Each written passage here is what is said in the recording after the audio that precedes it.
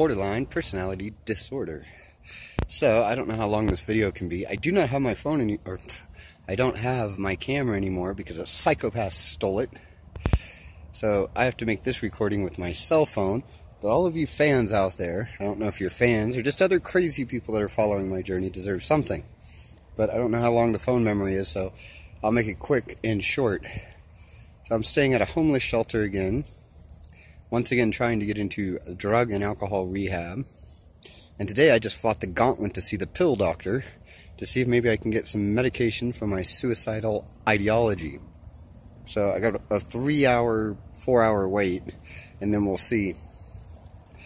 Um, yeah, that's going to be it because I don't know how to upload from my phone, so we got to figure that out. So until later on today, probably, I'll get back to y'all.